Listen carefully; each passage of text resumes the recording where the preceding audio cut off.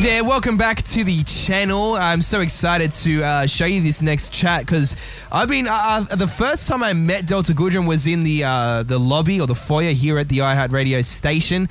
And she was just glowing. I, I was astounded. I was like, I got to have a photo with her. So I went up, asked for a photo. She was like, Yeah, of course. We took this photo. Then I went home. I showed my friends. Everyone was jealous, and I got to have a cheesy grin on my face because I got a pic with Delta Goodrem. Now that was like five years ago. Uh, haven't seen her since. Haven't talked to her since. And boom, she was on the phone this week. We got her on the show, and she was an awesome chat. It was actually such a random chat. We talked about her childhood. We talked about new music, her tours, artificial intelligence, Harry Potter. I mean, whatever you think can possibly be spoken about, we probably have it in this chat. So, hope you enjoy it. And yeah, Delta Goodrem, she's a legend. Check this.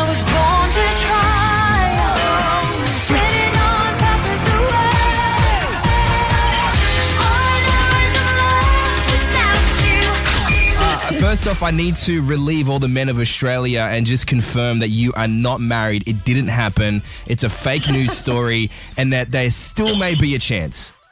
Yeah, I'm not married, no.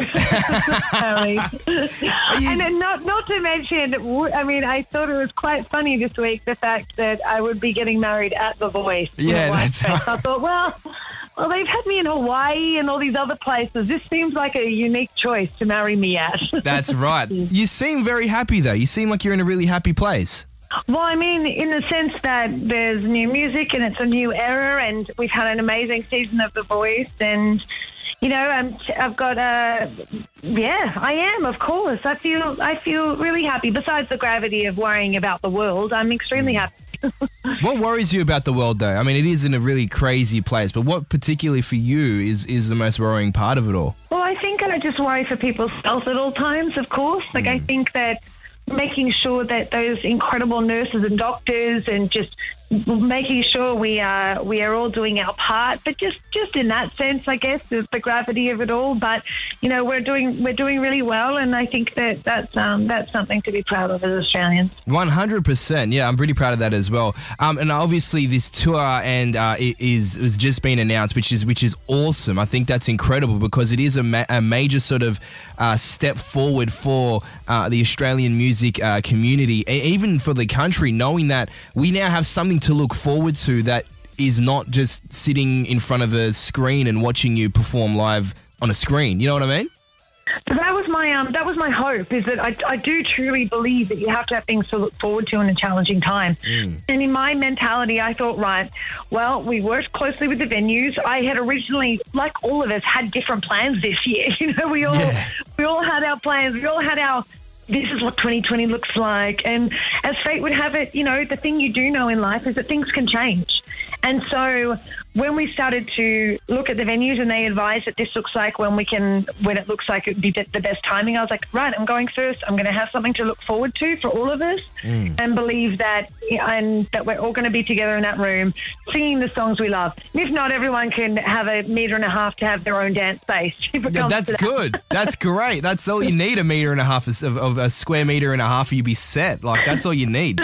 I love it. Imagine you got that at every concert where you're like, okay, well, I've got a full 1.5 meters that I can do spins on the spot. Yes, I'll be doing backflips. I mean, I'll be I'll be attempting to do backflips, but can you do a ba- can you do a backflip? Have you ever tried to do a backflip? Uh, uh, well, I love a good cartwheel or a round off. cartwheel, I've round off, yeah.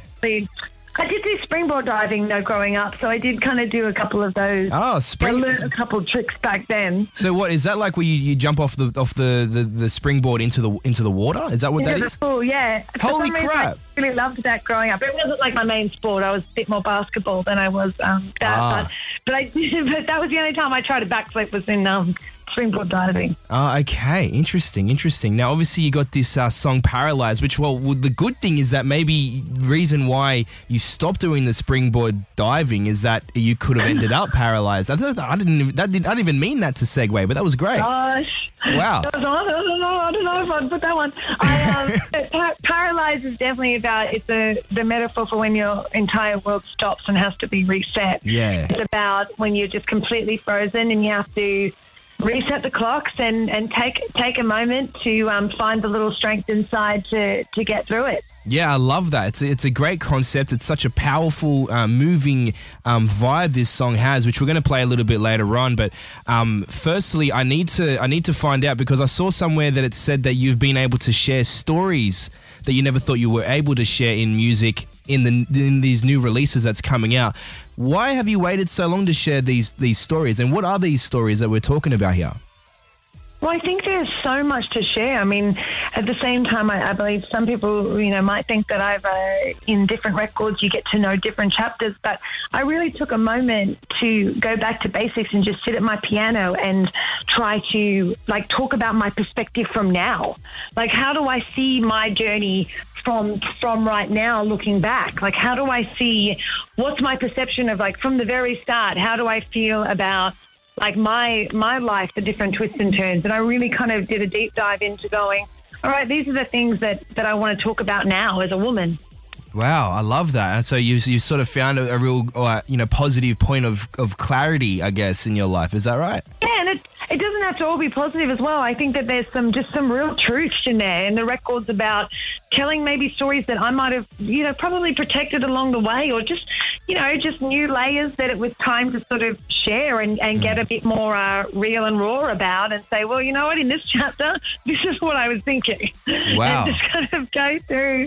Yeah, because you, you that, and I obviously you, st- you started into in, in the music industry at, a, at obviously a young age. You were a teenager when you when you basically started in it. So I'd imagine throughout the years that you've you've obviously built up, you've grown, and you've you've come to a sense of maturity in the game, and uh, uh, you would have so many. You know, behind the scenes stories, you'd have so many different So many. experiences, traveling around the world, all that stuff.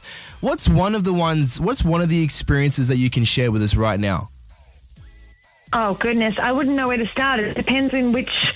It depends on which part of my life you'd want to go into.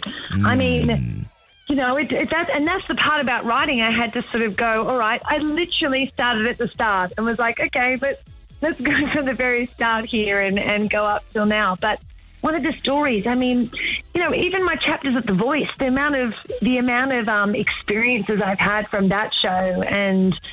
Yeah, that's, I, don't, I wouldn't know where to start actually. would be one of your. You reckon? You reckon you could like have a have like write a book or something one day? Would you do something like that? Oh, definitely. That'd be definitely. great. That'd be great. What would you call your book though? Because you'd have to because you'd always come up with some you'd come up with some crazy uh, you know concepts and titles. The Delta like would it be Delta Goodrem? The story like it couldn't be something like lame like that. It's got to be like you know like real special. Um, it, well, I appreciate that. I'm up open for suggestions if you have any. Delta Goodrem. Um, the, the real story. No, you see, it doesn't really- work. Doesn't work. I like to maybe just Delta Goodrem. Maybe that just works. That's just powerful enough. Delta. It just works. Del- Maybe we just, I mean, the fact that people still use my last name is pretty funny when they say Delta Goodrem. I'm like, you know, I don't get called my full name at all times during the day. And then when you do an interview, they're like, Delta Goodrem. I'm like, that's, that's me. That's oh, but you see, that's the thing. Your brand is so strong. Your your image, your brand is so strong. They just call you Delta Goodrem. You, you can't. You, it doesn't make sense calling you Delta. It doesn't. But I know, that's it's so- weird. That's weird. So what? You want us to call you Delta, or what do you want us to call you? No, you can call me whatever you want at this point. Everyone can call me Delta or Delta Goodrem. So oh. is my middle name. Is my middle name is Lee. Delta Lee Goodrem. Delta Lee Goodrem. Wow. Okay, I like that. My middle name is my middle name is Edward, and and I've I, I was embarrassed as a kid about that name because I don't know. I just felt like it was a real old and like lame name. My my, my so obviously first name Kian, last name Oliver, and my middle name was Edwin. And it just kind of felt like it didn't. Oliver. Yeah, it felt like it didn't fit in. But then as I got, got older, I thought I could make it work. Like name. I could like it, yeah. It sounds pretty. Like now that I look back, I'm like, whoa, that's it's actually a pretty pretty powerful name. Like I would even go as far to like put the Sir in front of it because like Sir Kian Edward. Like then now that sounds like Yes, that's royalty. Strong. Strong. That is strong. Thank so you. Kian Edward Oliver. Kian I mean, it Edward does sound like you're a royal. You're from the royal family. Well, you know, I, I might have some ties to it, you know, way back, but you know, I guess we all might as well. You don't know. You You don't know what? This I when I learned that um the last person to uh, I think was living in Elvis's house or something was a lady called Delta Mae. I was like, oh, Maybe I'm related to Elvis. Oh, maybe, maybe. Oh man, It's Delta Mae. Delta Mae. Did you hear about Elvis's uh, grandson the other day? I think he, um, I think it was a sui- like he committed suicide or something. Twenty-seven years old. Oh, I'm so. Did you hear about that? Oh, man, Yeah, that- I think I heard something. Yeah, that's crazy. That so is just heartbreaking. insane. It's insane. Uh, also, as well, the, the the whole conspiracy theory about Elvis. Is he alive? Is he still not alive? Does he have a twin? Does he not? Wh- what is your thoughts on that? Because that's I didn't even know where to start with that stuff. I, I, I mean, uh, I don't know if I have like a um. No, I, I haven't really thought that, that. But I mean, if he is around kicking it, then then all power to him. But I'm pretty sure he's watching us from above. Yeah, yeah, you don't know. And if he is, that's that's that's But I do remember I did go and actually visit my. I did actually get to go visit Graceland when I was.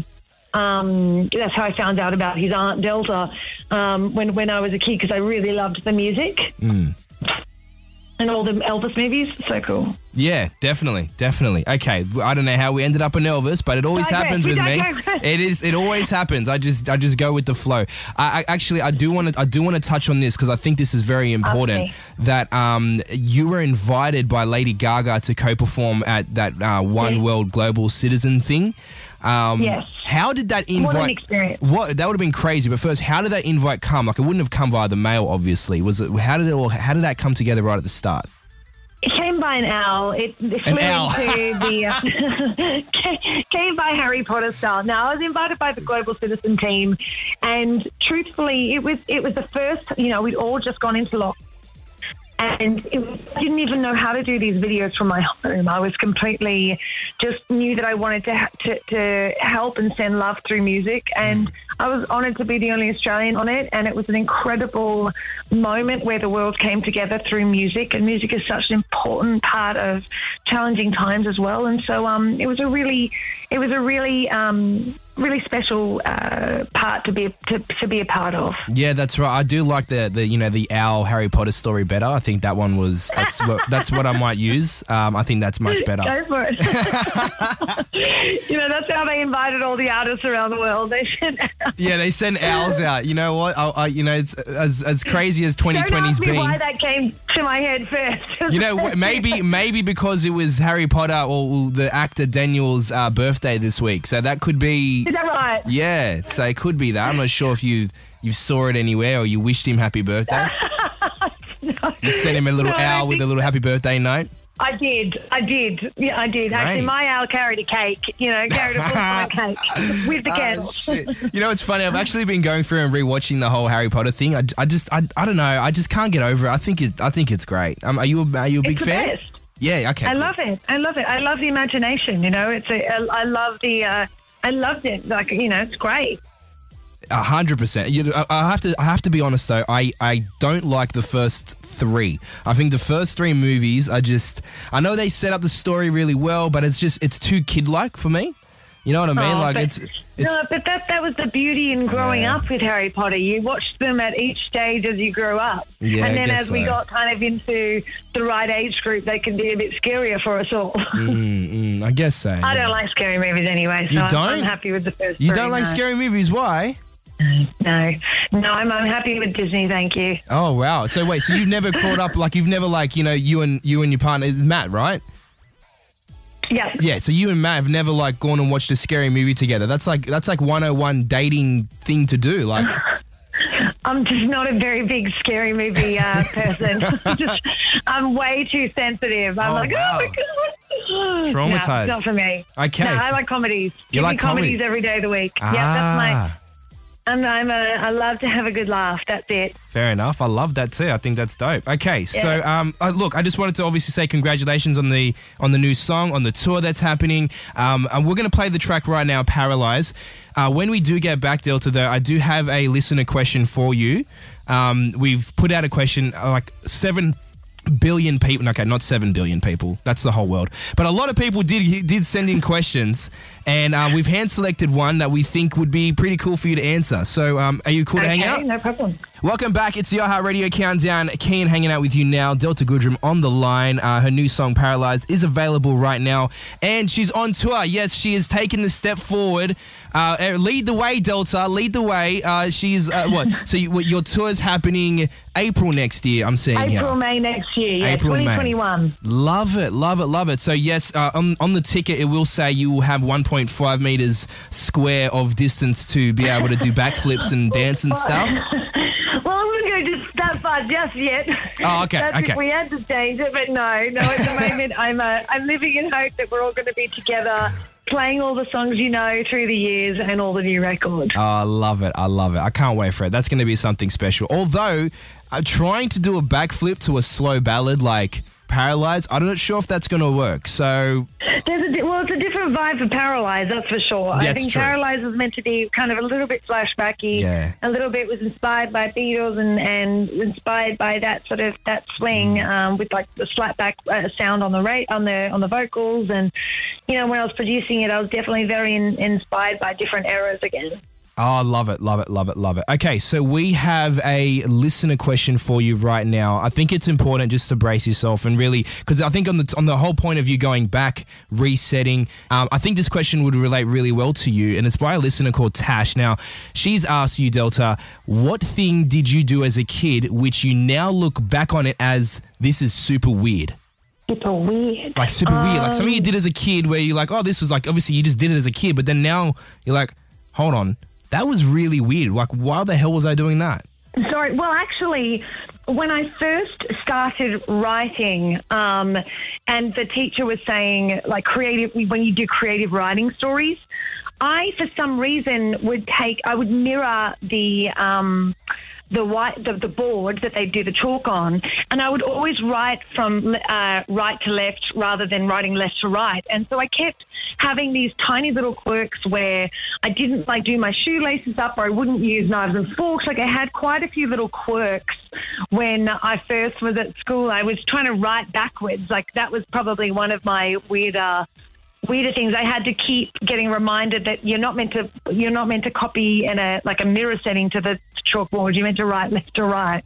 Whoa, that is weird as AF. Like that is weird as hell. So wait, you didn't even like you didn't realize you were doing that, or you just sort of looked at it, then you just like mirrored it straight onto your page. No, well, when they would say when they would say, um, you know, creative writing, I thought that that was that, that this was like kind of a way to uh, be an individual. Like I was like, Mike, I, I don't want to write the same way that everybody's writing. I want to write from right to left, right to left. And everyone was like, no. You, the teacher kept saying to me, I was only this is kindergarten. I'm talking. Yeah, but that's that's that's just- very that's very creative for a kindergarten. I'll tell you that.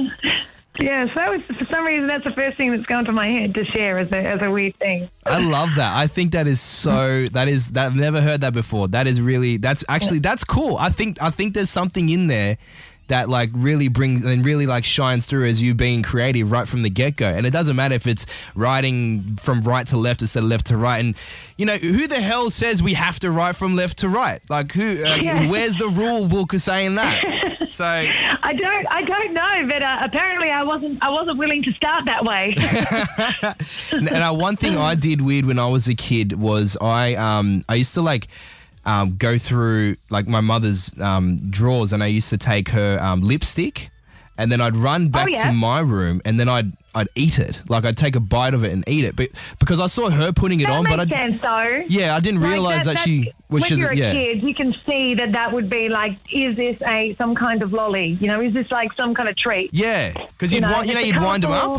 You'd wind it up. Yeah, yeah, yeah. So that, that, like, I don't know if that's weird, but that was uh, that was one of my little. No, I mean, it's, it's not as creative as you know writing from right to left, but it's it's it's something, I guess. yeah, it's, it is. It makes you who you are. That's that's the beauty in all of us being so different is that we have these interesting details as as humans in our DNA. It makes us who we are. Yeah, it really does. Um, but there's no one like you, Delta, uh, and your new Thank music much. is incredible. It is beautiful. It is real. It is raw.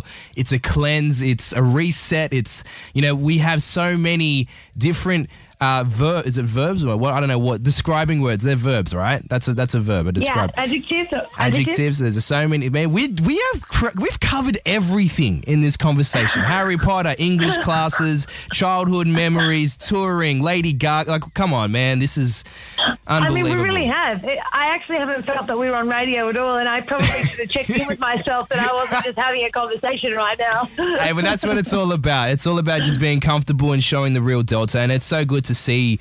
Uh, and like I, I think the real, the, the most important message to take away from this is that uh, you're leading the way in in reopening as much as possible as we can into the, the new norm, I guess. But reopening music Yeah. and, and and getting everybody sort of uh, forward looking, focused on on how we're going to be able to enjoy music in the future. So you're living in the future. sure. You're living in the future. You're you're you're, you're ahead. You're ahead of the game. I mean, you know, we've always got to keep moving with the times. As you know, if, if you don't do it, who will? You got you got to. And we know that there's always going to be change in life. Yeah, we need more people like you, Delta. How can we do that? Oh, Do you oh, reckon we would you you, would you ever allow us would you, Sir Kian, would you would you ever like opt in to have yourself cloned?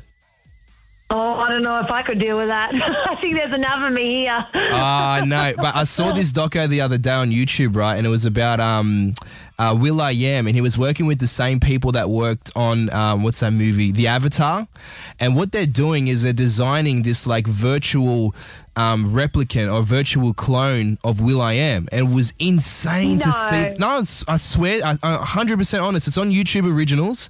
It's like uh, uh, artificial intelligence. It's hosted by um, who's Iron Man? What's Iron Man? Uh, Robbie Robert Downey Jr. right? Yeah. Um, yeah, so it's- yeah, yeah. it's hosted by him. Um, if you yeah, check it out because that is crazy, and it made me think. Wow, if I could clone myself, but a virtual digital version of me, what could I make that digital version of me do? Like I could have myself be my own assistant. Like you could be like, That's so, that is so true. Uh, right? And you could be like, okay, post this on my Instagram at six o'clock, and you don't even have to worry and just say blah blah blah blah blah, and then it will do that, or you know, record, start recording now. Like all of a sudden, you just singing, you know, I'd, I'd be like, oh, my voice is a bit tired today. How about you sing, lady? You know, Ah. your turn. You see, that is it. That is perfect. Delta 2.0. Like, I mean, we we, we should make it happen. And you, you, Oh, you uh, gosh. you've worked with, with Will I Am on The Voice, right? Am I right in saying that? Or Um, well, I did spend some time with Will I am on The Voice. Um, I wasn't on. There was the one season I did The Voice Kids. Oh, okay. So we had. Um, I had Mel B, but and uh, the the Madden Brothers. We did. There was the one year that we did Voice Kids. oh, that's right. So there was some sort of uh, like uh, overlap there, but nothing sort of uh, too too um, close and personal where you could actually call him up and be like, "Whoa, bro, like."